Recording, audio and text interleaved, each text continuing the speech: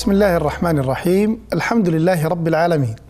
والصلاة والسلام على أشرف الأنبياء والمرسلين. مرحبا بكم أعزائي الطلاب والطالبات في درس من دروس الرياضيات للصف الخامس الابتدائي. أعزائي المشاهدين ماذا تعرفون عن الدالة وعن المستوى الإحداثي؟ ماذا تعرفون عن الأزواج المرتبة؟ وهل تستطيعون أن تمثلون الدوال على المستوى الإحداثي؟ هذا ما سنعرفه سويا في هذا الدرس. فابقوا معنا.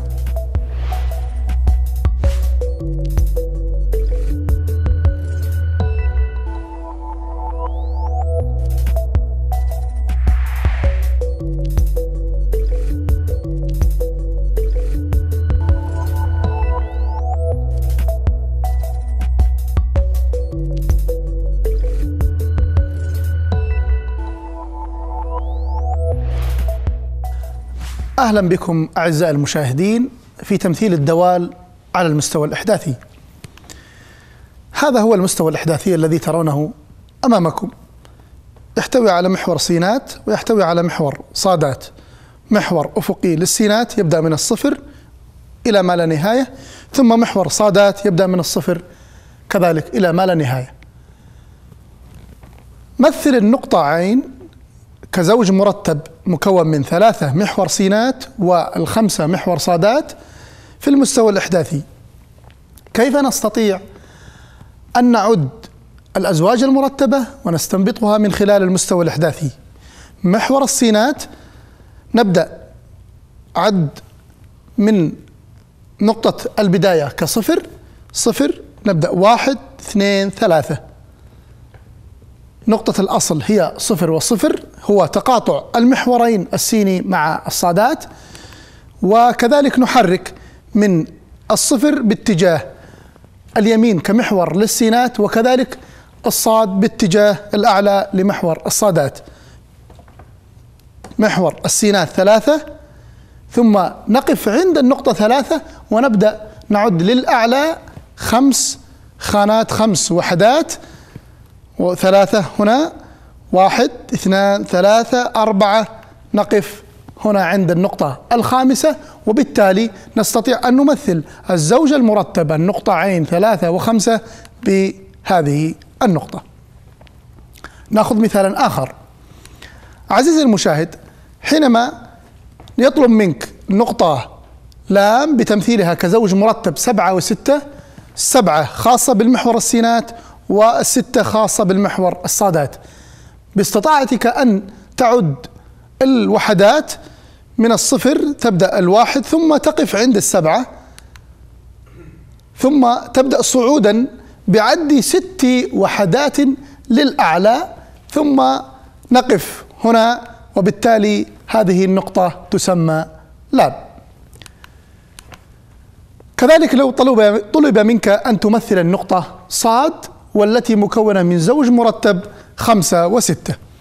نستطيع أن نعد كوحدات الخمسة خاصة بالسينات والستة خاصة بمحور الصادات. خمس وحدات لليمين ثم للأعلى ست وحدات. إذا هذه هي النقطة صاد.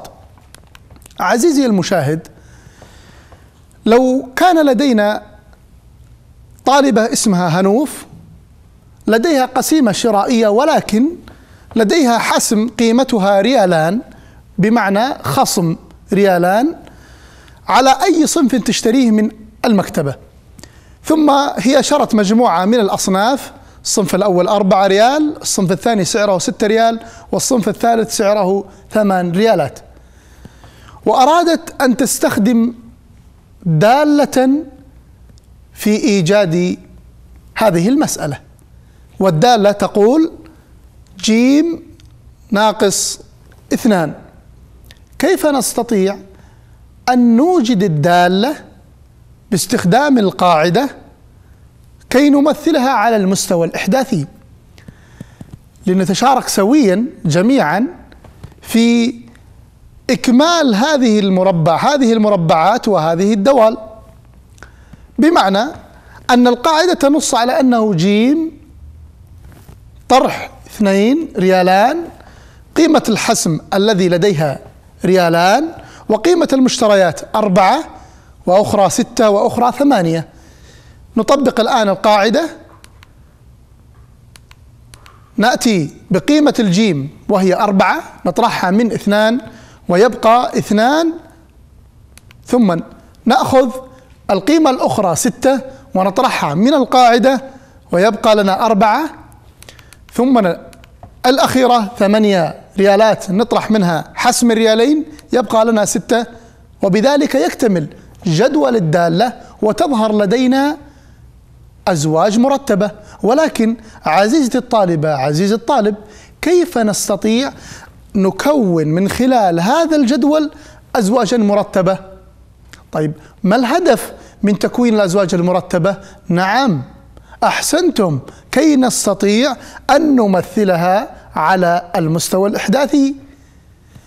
لو تلاحظون القيمة أربعة ظهر معها اثنان وبالتالي القيمة ستة يظهر معها أربعة القيمة ثمانية يظهر معها ستة ويتكون لدينا ثلاثة أزواج مرتبة أربعة. كزوج مرتب للسينات مع اثنين للصادات الزوج المرتب ستة وأربعة والزوج الأخير ثمانية وستة.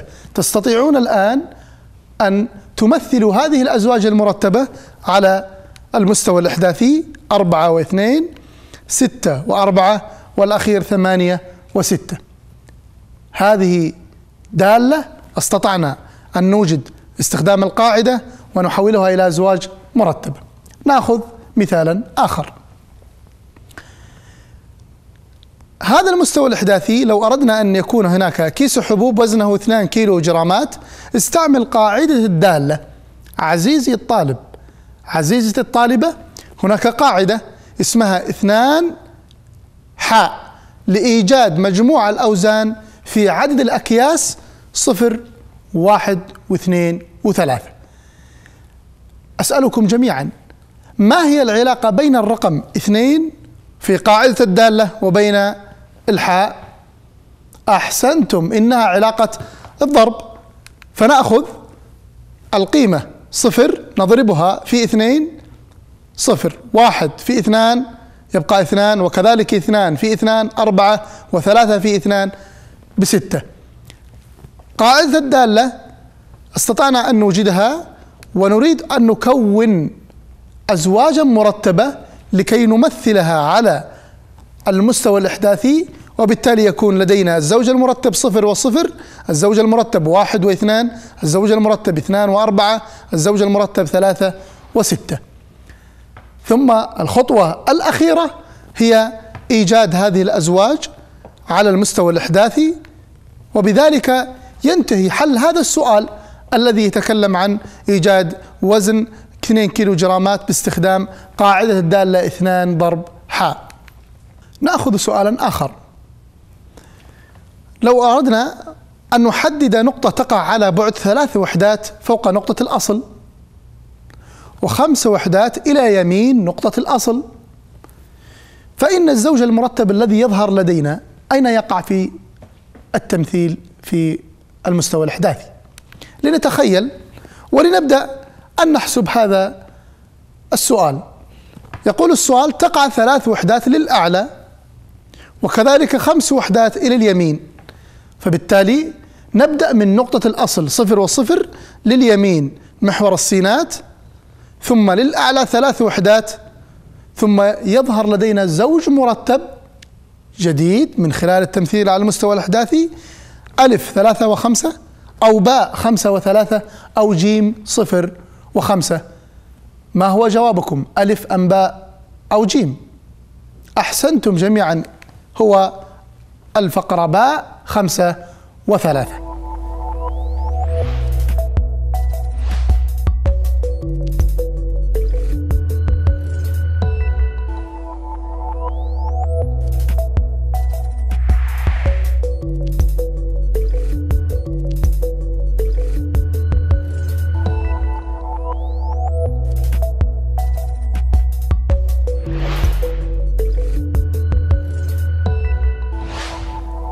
أهلا بكم أعزائي المشاهدين. هناك عدة تساؤلات حول موضوعنا تمثيل الدوال. يقول السؤال: هل البرامج الخاصة بتحديد المواقع مثل جوجل ماب تعمل على نفس فكرة تمثيل الدوال؟ والجواب: نعم تستخدم خطوط طول وعرض في تمثيلها للمواقع. سؤال آخر يقول: كيف يستطيع رجال المطافي تحديد المواقع الحرائق لا سمح الله حينما نتصل بهم. نعم لديهم برامج خاصة قريبة من فكرة تمثيل الدوال في تحديد مواقع الحرائق لا قدر الله. أعزائي المشاهدين إلى هنا نصل وإياكم إلى ختام درسنا لهذا اليوم. نستودعكم الله في درس قادم. والسلام عليكم ورحمة الله وبركاته.